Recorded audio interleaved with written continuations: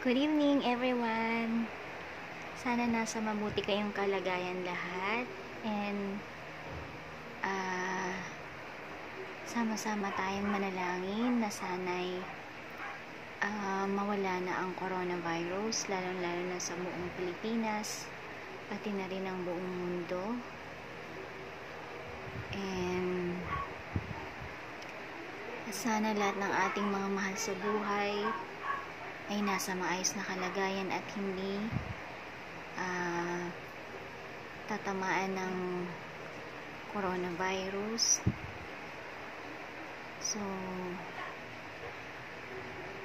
sama-sama tayong manalangin ulit and keep positive in life. Laban lang sa buhay. Sabi nga po, hanggat may buhay, may pag-asa.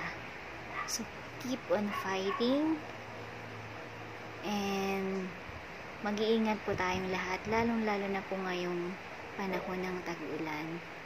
So, keep safe po and ingat. God bless po to everyone. Bye!